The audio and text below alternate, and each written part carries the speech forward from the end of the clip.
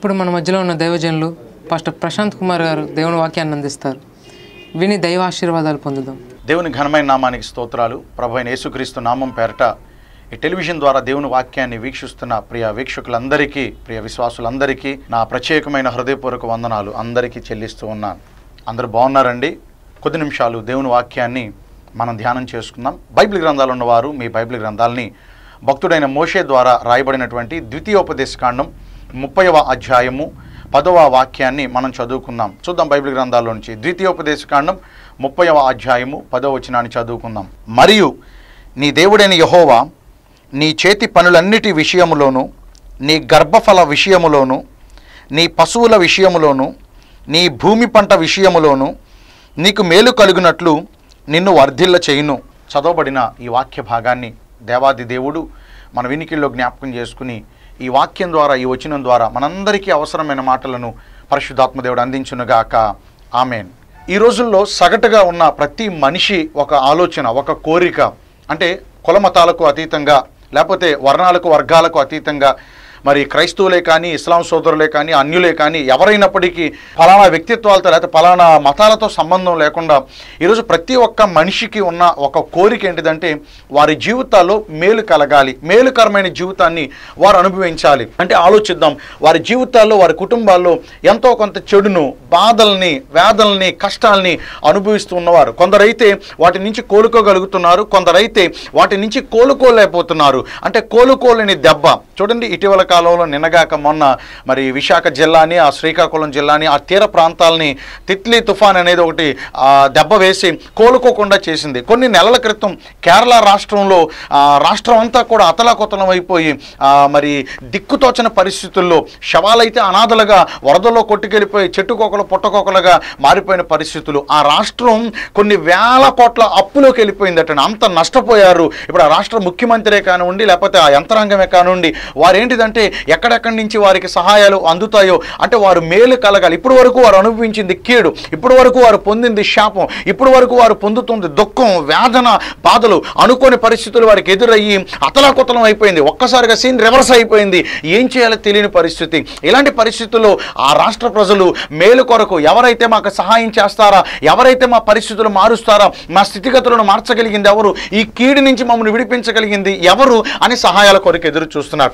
అలాగే నిన్నగాక మొన్న మన మన తీర ప్రాంత ప్రజలకు వచ్చినటువంటి ఆ భయంకరమైనటువంటి ఆ తుఫానును కూడా ఆ తిత్లీ తుఫానును కూడా మనం చూస్తున్నాం. వారు కూడా కొన్ని వందల వేల కోట్లు ఆస్తి నష్టమైంది. కొన్ని సంవత్సరాల క్రితం వచ్చిన హుదుహు తుఫాన్. ఇలా తుఫాన్లు వచ్చినప్పుడు ఆయా తీర ప్రాంత ప్రజలు ఆ రాష్ట్ర ప్రజలు ఏదైతే తుఫాను ఎఫెక్టెడ్ ప్రాంతాలు ఉంటాయో వారందరూ కూడా నష్టపోయి వారి నష్టం నుంచి బయటికి రావటం కొరకు వారు పొందిన శ్రమ నుంచి బయటికి రావటం కొరకు వారు అనుభవించిన కీడు నుంచి బయటికి రావటం కొరకు వారు ఎదురు చూస్తూ సహాయాల కొరకు కనిపెడుతూ ఉంటారు. అంటే వారు ఎందుకు కొరకు సహాయాల కొరకు కనిపెడుతున్నారు? మళ్ళీ ఆకాశం నుంచి తుఫాన్ రావాలి మళ్ళీ మేము నష్టపోవాలి ఈ మాత్రం కూడా కొట్టుకెళ్ళిపోవాలి అని దాని కొరకు ఎదురు చూస్తారంటే కాదు కాదు.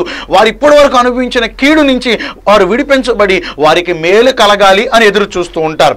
అలాగే అంటే తుఫాన్ల గురించి ఎందుకు చెబుతున్నానంటే ఈ మధ్యకాలంలో ఇలాంటి సంఘటనలు మనం ఎక్కువ చదువుతున్నాం చూస్తున్నాం కాబట్టి. అలాగే ప్రతి ఒక్కరి జీవితాల్లో కూడా దైనందిన పరిస్థితుల్లో కూడా వారి జీవితాల్లో ఆర్థిక పరంగా కష్టాలు ఎదుర్కొంటున్నారు ఆరోగ్యపరంగా కష్టాలు ఎదుర్కొంటున్నారు కుటుంబపరమైన సమస్యల పరంగా కష్టాలు ఎదుర్కొంటున్నారు. ఇలా పలు రీతులుగా కష్టాలు ఎదుర్కొంటూ శోధనల పాలు పడిపోయి శ్రమల పాలు పడిపోయి వారి జీవితం కూడా అతలాకుతలం అయిపోయి ఇప్పుడు మేలు కలగటానికి కొరకు మంచి జరగడం కొరకు వారు ఎదురు చూస్తున్నారు. కొందరైతే ప్రార్థన చేస్తున్నారు అయ్యా ఏసయ్యా మమ్మల్ని కనికరించండి. మా జీవితాలు అలముకున్న ఈ చీకటి నుంచి మా జీవితాల్లో పొందుతున్న ఈ వేదన నుంచి మమ్మల్ని విడిపించి మాకు మేలు కలిగించండి. మేము మా కుటుంబం మేలు పొందాలి అని ప్రభు దగ్గర కనిపెడుతూ ఉన్నారు. మనందరి ఆశ ఎరిగిన దేవుడు ఈ వాక్యం ద్వారా ఈరోజు మనతో మాట్లాడుతున్నాడు. నువ్వు ఏ పరిస్థితుల్లో ఉన్నావో నీ పరిస్థితులు ఎంత ప్రతికూలంగా మారిపోయాయో తోటి మనుషులకు తెలియపోవచ్చు మన పక్కన వారికి తెలియపోవచ్చు. కానీ మనందరినీ నిర్మించిన మన హృదయంతరంగా పరిశీలకుడు దేవునికి ఆయన మన సమస్తం తెలుసండి. అందుకనే ప్రభువారు ఈ మాటను మనకు అందిస్తున్నాడు ఈ వాగ్దానాన్ని మనకు అందిస్తున్నాడు. కాను ఆ రోజున ఇస్రాయేలీల కొరకు ఎలుగెత్తి మోషే యహోషువ భక్తులు చదివి వారి మధ్యన చాటించారు. ఈ రోజున పరిశుద్ధాత్మ దేవుడు ఈ వచనం ద్వారా మనతో మాట్లాడుతున్నాడు. చూడండి అక్కడ ఏమన్నాడు మనం కొంచెం వాక్యంలో ముందుకు వెళితే మీ దేవుడైన యహోవా అంటే మన ప్రభు అయిన యహోవా మన సృష్టికర్త అయిన యహోవా ఆయన నీ చేతి పనులన్నిటి విషయంలోనూ నీ గర్భఫల విషయంలోనూ నీ పశువుల విషయంలోనూ నీ భూమి పంట విషయంలో అంటే ఒక్క మాటలో మనం మాట్లాడుకోవాలంటే నీకు కలిగిన సమస్తమైన విషయాలలో నీకు మేలు కలుగునట్లుగా ఆయన నిన్ను ఆశీర్వదించబోతున్నాడు. దేవునికి మహిమ కలుగును గాక అంటే మనందరి ఆలోచన మనందరి ప్రశ్న మనందరి ఎదురు చూపు మాకు మేలు చేసేవారు ఎవరు మా పరిస్థితులు ఇప్పుడు మార్చేవారు ఎవరు ఇప్పుడు మేము అనుభవిస్తున్న కష్టం నుంచి కీడు నుంచి దీనస్థితి నుంచి దుర్దశ నుంచి మమ్మల్ని విడిపించి మా జీవితానికి మేలు కలిగించే వారు ఎవరు అని మేలుకరమైన జీవితం కొరకు ఎదురు చూస్తున్నారు కదా. ఈ రోజున ప్రభుని ఆశ నెరిగిన దేవుడు నీతో మాట్లాడుతున్నాడు వాక్యం ద్వారా. నీకు మేలు కలిగించబోతున్నాడు. నీవు మేలు పొందబోతున్నావు. వాక్యం మనం అనుకుందాం. నాకు మేలు కలిగించబోతున్నాడు దేవుడు. నా పరిస్థితులను మార్చబోతున్నాడు. మేలుకరమైన జీవితాన్ని నా దేవుడు నాకు అనుగ్రహించబోతున్నాడు. నా దేవుడు నన్ను లిఫ్ట్ చేయబోతున్నాడు. వర్ధిల్ల చేయబోతున్నాడు. అంతకంతకు నన్ను ఉన్నతమైన స్థితిలో నిలబెట్టి నన్ను సంతోషింపజేయబోతున్నాడు. దేవునికి మహిమ కలుగును గాక.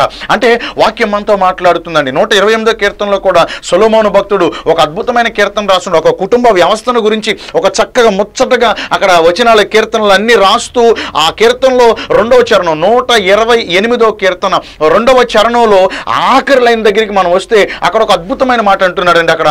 మీరు ధన్యులు మీకు మేలు కలుగును. నిశ్చయముగా పై మాట మనం చదివితే నిశ్చయంగా మీ చేతుల కష్టార్జితాన్ని మీరు అనుభవిస్తారు. అంటే ఇంతవరకు కష్టపడి సంపాదించిన కష్టార్జితం పరుల పాలైపోతుంది నష్టపోతుంది ఇబ్బందుల పాలైపోతుంది.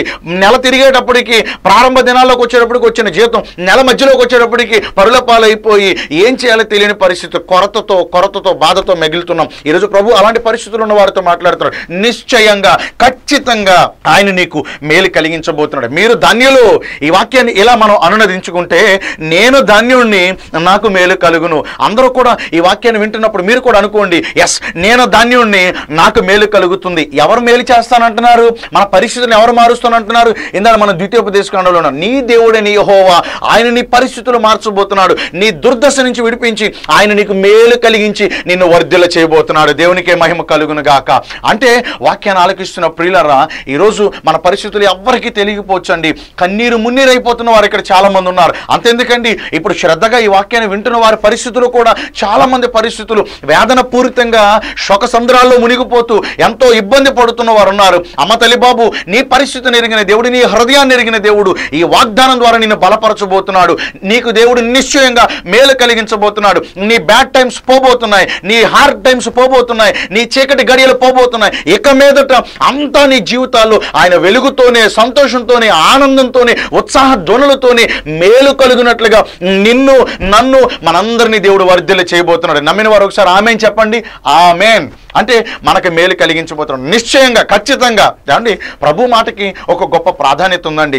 మామూలుగా మనుషులుగా మనమైతే ఒక మాట చెప్పి ఒక వాగ్దానం ఇచ్చి ఒక ప్రామిస్ చేసి మనం ఏమనుకుంటాం అంటే పరిస్థితులను బట్టి మాటలు మార్చేస్తూ ఉంటాం. నా దాకా వచ్చి నా పేకల మీద కత్తి పెట్టి మాట మారతావా అంటే ఏం చేయగలను ఎవరైనా? అయ్యో నా దాకా వచ్చేసిందండి. నేనేం చేయగలనండి? ఏం మళ్ళీ ప్రభు చిత్తం అయితే ఇంకోసారి ఎప్పుడైనా ఇంకో రకంగా మనం ఏదైనా చేద్దామండి. కానీ ఇచ్చిన మాటను నిలబెట్టుకునేవారు ఎంతమంది? కానీ నా ప్రభు ప్రభు మాటకున్న ప్రత్యేకత ఏంటిదంటే ఆకాశం గతించిన భూమి మార్పు చెందిన పరిస్థితులు ఎంత అల్లకల్లోలంగా మారిపోయినా అఫ్ కోర్స్ మనమైనా మన ప్రభు మనకి ఇచ్చిన ఆ వాగ్దానాన్ని ఒక్కో సందర్భంలో మర్చిపోతాం కానీ ఆయన ఎన్నడూ కూడా నీకు ఇచ్చిన మాటను మర్చిపోయే దేవుడు కాదు మాట మార్చే దేవుడు కాదు ముఖం చాటేసి వెనక్కి వెళ్ళిపోయే దేవుడు కాదు. నా దేవునికి అదే ప్రత్యేకత ఉందండి. నిన్న నేడు నిరంతరము యుగ యుగములకు ఆయన సజీవుడుగా యాకరీతిగా ఉన్నాడు. దేవునికి మహిమ కలుగును గాక వాక్యాన్ని వీక్షిస్తున్న ప్రియ ప్రేక్షకులందరికీ ప్రభు నామం పెరట శుభాన్ని తెలియచేస్తున్నా ఆయన మనకి మేలు కలిగించబోతున్నాడు. మేలుకరమైన జీవితం పొందాలని ఈ బ్యాడ్ టైమ్స్ పోవాలని మీరు మాత్రం కోరుకోవట్లేదండి. నిశ్చయంగా ఆయన మనకు మేలు కలిగించబోతున్నాడు. మరి అయితే మేలుకరమైన జీవితాన్ని మనం పొందాలంటే మన జీవితాల్లో మేలు పొందుతూ వర్ధిల్లాలంటే మనం ఏం చేయాలో ఒక్క రెండు మూడు మాటలు మీకు చూపించి నా వాక్య భాగాన్ని నేను ముగిస్తాం. చూద్దాం ఇక ఆలస్యం ఎందుకండి? నూట ఇరవై ఐదో కీర్తనలో మనం చదువుకుందాం. నూట ఇరవై ఐదో కీర్తన నాలుగో చరణాన్ని మనం ఒకసారి చదువుకుందాం. అక్కడ కీర్తనకారుడు ఇలాగ సెలవిస్తూ ఉన్నాడు. యహోవా మంచి వారికి మేలు చేయము యథార్థ హృదయులకు మేలు చేయము. కీర్తనకారుడు దావిదంటూ ఉన్నాడు. యహోవా ఏసయ్య దేవాది దేవా మంచి వారికి మేలు చేయండి నాయన. యథా యథార్థ హృదయులకు మేలు చేయండి ఏసయ్యా దేవా అంటూ భక్తుడు ప్రార్థిస్తూ ఉన్నాడు అంటే మొట్టమొదటిగా మనం ఈ వాక్యాన్ని కొంచెం మనసు పెట్టి ఆలోచించగలిగితే ఎవరు మేలు పొందుతారంట? ఎవరి జీవితాలకి దేవుడు మేలు చేస్తాడంట? ఎవరు మేలుకరమైన జీవితాన్ని అనుభవిస్తారంట? అంటే అక్కడ మొట్టమొదటి మాట మన ప్రభువు మనకి అందిస్తున్నాడు. యథార్థ హృదయులకు మేలు చేయండి. అంటే ఈరోజు మేలుకరమైన జీవితాన్ని నేను పొందాలంటే ఇప్పుడు నేను ప్రభు దగ్గర ఎలా ఉండాలటండి యథార్థత కలిగి నడవాలి. యథార్థ హృదయంతో ఉండాలి. యథార్థమైన ప్రవర్తన కలిగి జీవించాలి. పదిహేను కీర్తనలో కూడా రెండో చరణంలో కూడా అదే అంటాడండి. మొదటి చరణం నుంచి మనం చదివితే యథార్థమైన ప్రవర్తన కలిగి నీతిని అనుసరించచ్చు హృదయపూర్వకంగా నిజం పలుకువాడే పరలోకంలోనికి ప్రభు ఇంటిలోనికి చేర్చబడతాడు అన్న వాగ్దానాన్ని మనం లోగడ కూడా చదువుకుంటూ ఉంటాం. అయితే ఈరోజు మన వాక్య భాగం మొట్టమొదటి మాట మేలు కలగాలి. మేలుకరమైన జీవితాన్ని మనం అనుభవించాలి. అలా మేలుకరమైన జీవితం మనం పొందాలంటే నెంబర్ వన్ యథార్థ హృదయాన్ని మనం కలిగి ఉండాలి. ఏమంటే ఒక మాట? ఈ రోజు యథార్థత అంటే దాని అర్థం ఎలా అయిపోయిందంటే చర్చెస్కి వచ్చినప్పుడు ఏదో భక్తిని ప్రదర్శించేస్తున్నారు చాలా మంది చర్చిల్లో ఉన్నప్పుడు తోటివారు పక్కన ఉన్నప్పుడు పొరుగువారు పక్కన ఉన్నప్పుడు పక్క పక్కన ఎవరో ఉన్నప్పుడు కొంతమంది ఏం చేస్తున్నారంటే లేని భక్తిని ప్రదర్శిస్తున్నారు. వారిలో భక్తి లేదు కానీ భక్తి పరులుగా ప్రదర్శిస్తున్నారు. వారిలో ప్రార్థన లేదు కానీ ప్రార్థనా పరులుగా ప్రదర్శిస్తున్నారు. వారిలో ఆత్మీయత లేదు కానీ ఆత్మీయులుగా ప్రదర్శిస్తూ ఉన్నారు. వారిలో నీతి లేదు కానీ నీతిమంతులుగా ప్రదర్శన చేస్తూ ఉన్నారు. ఏమంటే ఒక్క మాట? అలాంటి జాబితా కొంతమంది ఉన్నారు. మనుషులందరూ అనుకుంటారు వీళ్ళంత ప్రార్థనా పరులోనండి వీళ్ళంత భక్తి పరులోనండి అయ్యో వీళ్ళంత ఆత్మీయులోనండి అబ్బాయి వీళ్ళంత గొప్ప మరి దేవుని పిల్లలండి అంటూ సర్టిఫికేషన్స్ ఇచ్చేస్తూ ఉంటారు. ఎందుకంటే మన ప్రదర్శన అలా ఉంటాయి కాబట్టి. కానీ కొంతమంది అప్గ్రేడ్ అయిపోయి ఏం చేస్తున్నారంటే దేవుని ముందు కూడా వాళ్ళ నిజాయితీ పరులుగా ప్రదర్శించేస్తున్నారు. యథార్థ హృదయాలు అంటే ఒక మాట చెప్తాను ఉన్నది ఉన్నట్లుగా నడుచుకుంటాం. అంటే నాకు దేవుడు బయలుపరిచిన ఆ అర్థాన్ని నేను మీతో పంచుకుంటూ ఉన్నాను. యథార్థత అనగా ఉన్నది ఉన్నట్లుగా ప్రవర్తించడం ఉన్నది ఉన్నట్లుగా జీవించడం ఉన్నది ఉన్నట్లుగా నడుచుకుంటాం. కానీ ఈ రోజు నిజంగా వాక్యాన్ని ఆలకించే నీవు ఇంకా అనేక మంది ఉన్నది ఉన్నట్లుగానే జీవిస్తున్నారా? కాదండి లేనిది ఉన్నట్లుగా జీవిస్తున్నారండి. భక్తి లేదు. కానీ భక్తి పరులుగా నటించట్లా? ఏమండి మరి ఆత్మీయత లేదు. ఆత్మీయులుగా నటించట్లా? ఏమండి మరి మనలో నిదానత్వం లేదు. కానీ నిదాన పరులుగా ప్రశాంతంగా ఉన్నట్లుగా మనం ప్రదర్శించట్లా? వాక్యాన్ని ఆలకిస్తూ కొంచెం లోపలికి వెళ్దాం. ఎవరు నొచ్చుకోబాకండి. ప్రభు మనతో మాట్లాడుతున్నాడు. మేలుకరమైన జీవితాన్ని ప్రభు మనకి ఇవ్వబోతున్నాడు. ఎప్పుడు? అంటే మనం ప్రభు దృష్టికి యథార్థ హృదయం కలిగినప్పుడు యథార్థ హృదయులకు ఖచ్చితంగా ఆయన మేలు చేసే దేవుడు అండి ఉదాహరణకి ఒక యోగు ఉన్నాడు. ఉదాహరణకి ఒక హిజ్కియా ఉన్నాడు ఉదాహరణకి ఒక దావీద్ ఉన్నాడు ఉదాహరణకి ఒక దానియలు షడ్రకు మిషాకు అభేదనగులు యోసేపులు. అబ్బా ఇలా చెప్పుకుంటూ పోవాలంటే బైబిల్ గ్రంథంలో ఒక యథార్థవంతుల లిస్ట్ పెడితే అబ్బా ఒక పుస్తకమే రాసేయచ్చండి ఇంత లోప పుస్తకం రాయొచ్చు. వాళ్ళందరి జీవితాల్లో తొలితగా వారు ఎదుర్కొన్నవి కొన్ని కష్టాలు ఎదుర్కొన్నారు కానీ కొన్ని బాధలు ఎదుర్కొన్నారు కానీ వారి ఎండ్ ఆఫ్ ద లైఫ్ వచ్చేటప్పటికి వారి జీవితాల్లో ఒక సర్టన్ స్టేజ్కి వచ్చేటప్పటికి మేలు పొందుచు ఎంతో సంతోషకరమైన రెండంతల ఆశీర్వాదాలతో వారు తృప్తికరమైన జీవితాన్ని అనుభవించారండి. కారణం ఏంటి వాళ్ళు దేవుని దృష్టికి యథార్థత కలిగి ఉన్నారు ఏమున్నా లేకపోయినా ఏమి కలిగున్నా లేకపోయినా ఏం పొందినా పొందకపోయినా ఏమి సంపాదించినా సంపాదించకపోయినా వారు ఎలా అయితే ఉన్నారో అలాగే వారు ప్రభు దగ్గర కనపడ్డారు. ఈ రోజున వాక్యాన్ని ఆలకిస్తున్న ప్రియులరా మన జీవితాల్లో మన హృదయాలకు యథార్థత ఉందా? యథార్థత మనం కలిగి ఉండాలండి. ఒక్క మాట అండి. ప్రభు దగ్గరికి వచ్చి ప్రభు దగ్గర కూడా లేనిది నటించామనుకో హలో ఎవరు మోసపోతున్నారు? కొరిందులకు రాసిన పత్రికలో పౌలు అంటాడు మోసపోకుడే నేను నీతిమంతుని అనుకుని ప్రభు దగ్గరికి వచ్చి మోకరంతారు చాలా మంది లేకపోతే నేను ఇంకేదో అనుకుని లేకపోతే ఇంకేదో భక్తి భక్తిపరుని అనుకుని ఆత్మీయుని అనుకుని ప్రభు దగ్గరికి వచ్చి మోకరించి "ఆ, నేను నాకు ఈ రోజు ఎంత ప్రార్థన బాగా చేసుకున్నాను ఈ రోజు ఎంత ఆత్మీయంగా ఆనందించాను అంటూ చాలా మంది ప్రభుని మోసం చేయాలని చూస్తూ ఉంటారు. అమ్మా ఒక్క మాట నాయన ఒక్క మాట. మన భక్తి మనుషులను మోసం చేయొచ్చు మనుషులను ఉత్తినే బురుడి కొట్టించేయచ్చు. కానీ ప్రభు ఆయన పెదవుల ప్రార్థనలు ఆలకించే దేవుడు కాదండి.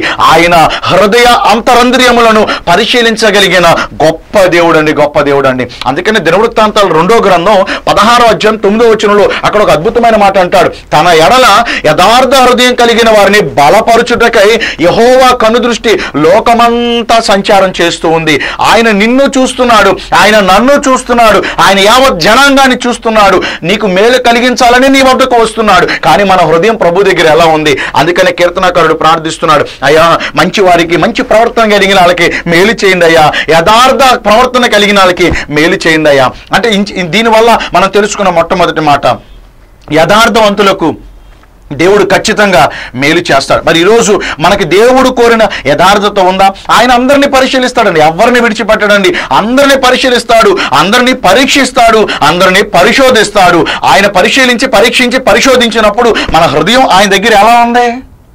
ప్రకటన గ్రంథంలో సప్త సంఘాల్లో ఒక సంఘంతో నీ క్రియలు నా దేవుని ఎదుట సరిగా లేవు సరిగా లేవు. నీ ప్రవర్తన దేవుడి దృష్టికి సరిగ్గా లేదు. నీ నడక దేవుడి దృష్టికి సరిగ్గా లేదు. నీ నడవడిక ప్రభు దృష్టికి సరిగ్గా లేదు. మార్చుకో. ఇప్పటి వరకు నటించావు భక్తిని ఇప్పటి వరకు ప్రదర్శించావు భక్తిని ఇప్పటి వరకు లేని ఉన్నట్లుగా జీవించేసావు ఏకంగా. కానీ ఇప్పుడైనా ఈ వాక్యాన్ని విన్న తర్వాత అయినా అలా నటించే భక్తి అలా ప్రదర్శించే భక్తి దేవుడికి ఇష్టం లేదు.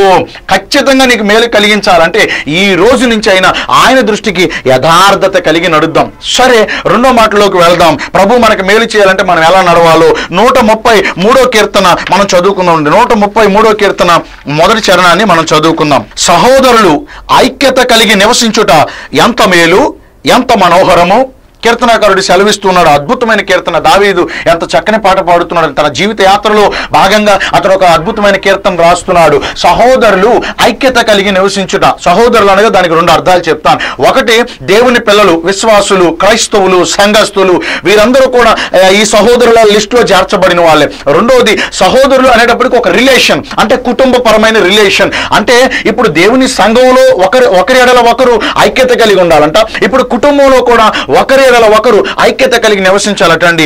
ఐక్యత ఒక మాట మీదకి రావటం ఒక నిర్ణయం తీసుకున్నప్పుడు అందరూ సమ్మతించడం అందరూ ఒక ఆలోచన మీదకి రావటం అందరూ ఒక నడక మీదకి రావటం ఇలా ఏకీభవించినప్పుడు ఐక్యత కలిగినప్పుడు మనసులన్నీ ఒక మాట మీదకి వచ్చినప్పుడు ఖచ్చితంగా అక్కడ మేలు కలిగిద్ది. కానీ ఈరోజు చాలా మంది జీవితాలు ఎలా ఉందంటే సంఘాల్లోనే ఐక్యత లేదండి. ఒకరంటే ఒకరికి పడనని సంఘాలు కొన్ని ఉన్నాయండి. కుటుంబాల్లో కూడా అదే తంతు నడుస్తుందండి. ఇదిగో ఒక తల్లిదండ్రులు తల్లిదండ్రులకి ఇద్దరు ముగ్గురు పిల్లలు ఉంటే ఒక బిడ్డ అంటే ఒక బిడ్డకి పట్ల వీ- వీరంటే వారికి పట్ల వారంటే వీరికి పట్ల ఇలా విభాగాలు అయిపోతున్నాయి ఇళ్ళలోనే గ్రూపులు అయిపోతున్నాయండి కుటుంబాల్లోనే గ్రూపులుగా విభజించి పాలించినట్లుగా నడుస్తుందండి. ఎక్కడ ఐక్యత ఉంటుందో అక్కడ ఖచ్చితంగా దేవుడు మేలు కలిగిస్తాడు. మరి ఈ రోజున మీ కుటుంబాల్లో మీ సంఘాల్లో ఐక్యత ఉందా? ఏకీభవించి ఒక్క మనసు మీదకి వచ్చి ప్రార్థన చేయగలుగుతున్నారా? ఏమంటే ఒక చిన్న ఉపమానాన్ని మీకు చెప్తాను. యేసుక్రీస్తు ప్రభు ముప్పై మూడున్నర సంవత్సరాలు ఈ లోకంలో జీవించి ప్రధాన యాజకుల చేత యూదుల చేత అక్కడ ఉన్నటువంటి రోమా ప్రభుత్వ అధికారుల చేత ఆయన చెరపట్టబడి అన్యాయపు తీర్పులు పొంది సిలువ వేయబడి మరణించి మూడో దినమందు మృత్యుంజేడిగా తిరిగి లేచి నలభై రోజుల వరకు వారికి అక్కడ ఉన్న వారందరికీ కూడా ఇంచుమించుగా పదకొండు సార్లు తను తాను సజీవుడిగా ప్రత్యక్షపరచుకుని ఐదు వందల మందికి ఆయన దర్శనాన్ని అందించాడండి సజీవ దేవుని దర్శనాన్ని వారికి అందించాడు. రైట్. ఇప్పుడు నలభై రోజులు అయిపోయింది. నలభై రోజున వారందరినీ ఒలివుల కొండ మీదకి చేర్చి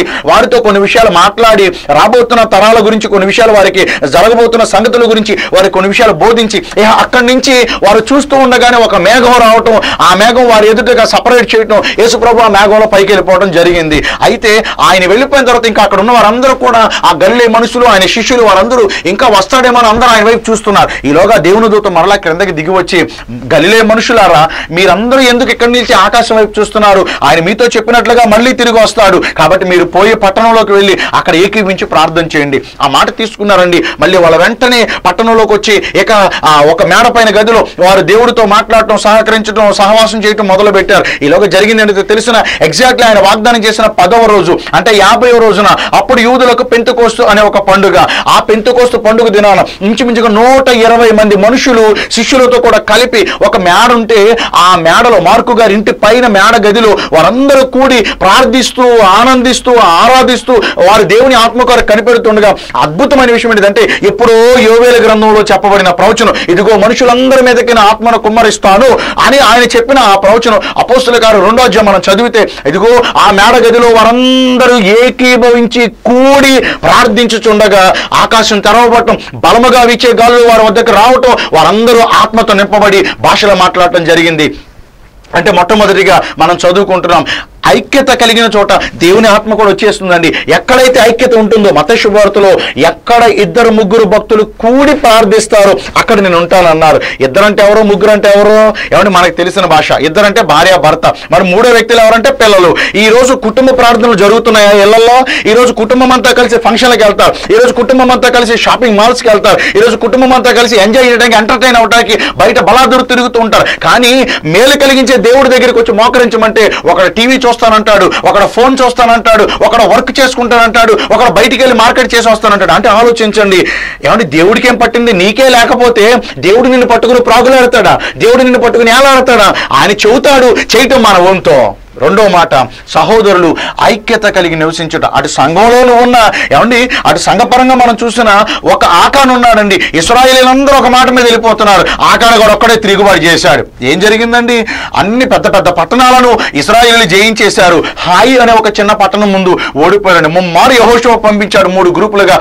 ముగ్గురు ఆ, సావు దెబ్బలు తినేసి వచ్చారు. కొందరు అయితే చచ్చిపోయారు కూడా. మిగిలిన వాళ్ళు చెప్తున్నారు అయ్యా మనం అనుకున్నంత బలహీనులు కాదు హాయి పట్టణస్తులు. యాక్చువల్గా హాయి అనేది చాలా చిన్ని పట్టణం. ఇస్రాయేల్తో పోలిస్తే అసలు హాయి వారు ఎన్నికే లేని ప్రజలు.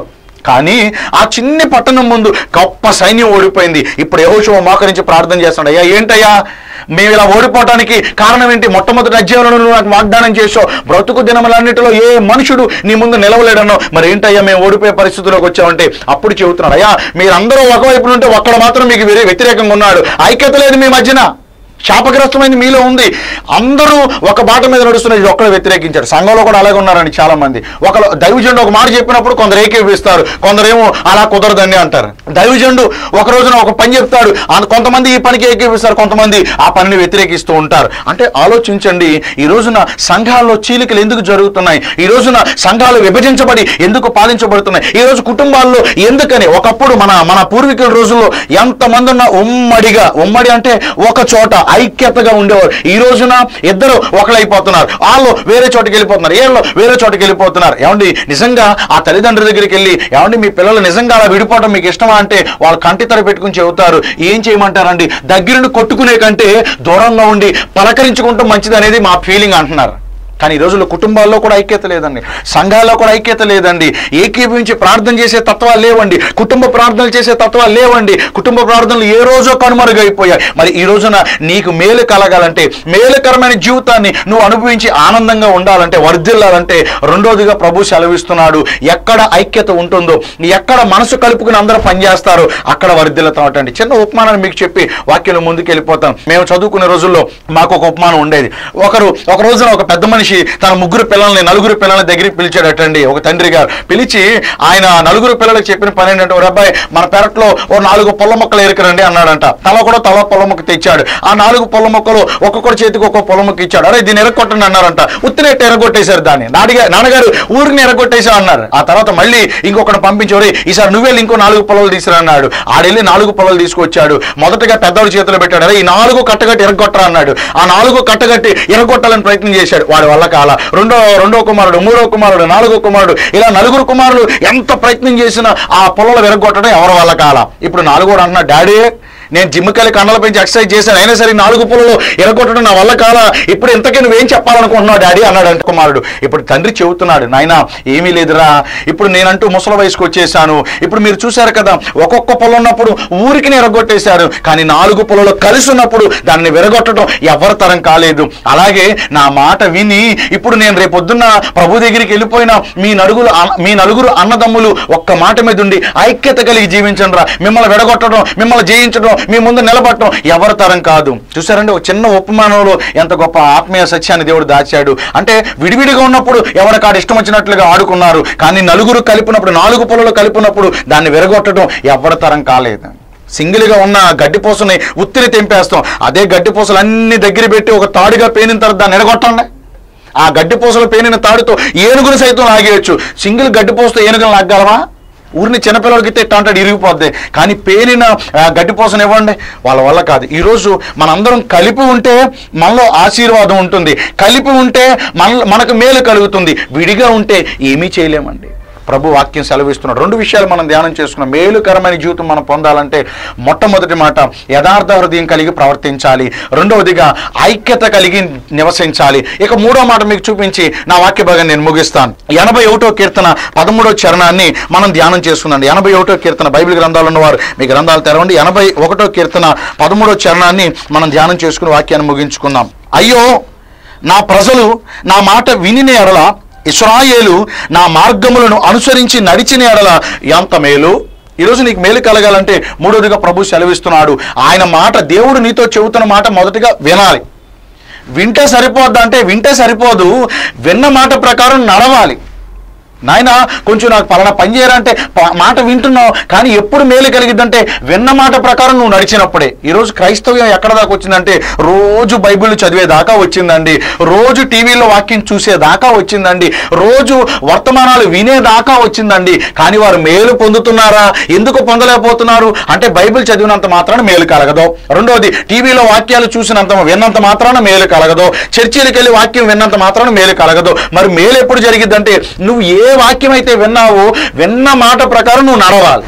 వాక్యానుసారంగా నువ్వు నడిచినప్పుడే వాక్యానుసారమైన జీవితం నీలో ఉన్నప్పుడే దేవుడు నీకు చూపించిన బాటలో నువ్వు ప్రవర్తించినప్పుడే ఖచ్చితంగా నీకు మేలు కలిగిద్ది. మరి ఈరోజు మేలు పొందాలి అని ఆశించిన ప్రియులరా ఈ మాటలన్నీ మనం గమనించాలి. యథార్థత కలిగి ఉండాలటండి. యథార్థ హృదయాన్ని కలిగి ఉండాలి. యథార్థమైన ప్రవర్తనలో మనం నడవాలి. రెండవదిగా ఐక్యత కలిగి జీవించాలి. మూడవదిగా ప్రభు మాటను విని ఆయన చూపించిన త్రోవలో మనం నడవాలి. ఇస్రాయేలీలు ఆయన మాట విన్నారు కానీ నడవలేకపోయారు. అందుకనే మార్గ మధ్యాలో సంహరించబడ్డారు. ప్రభు మనతో చెప్పిన ప్రకారం జీవిద్దాం. నిశ్చయంగా ఆయన నీకు ఈ రోజు నుంచి మేలుకరమైన జీవితాన్ని అనుగ్రహించబోతున్నాడు. దేవుడి కొద్ది మాటలు మనందరి వినికిల్లో దీవించి ప్రభు మనకు అట్టి జీవితాన్ని దయచేయనుగాక.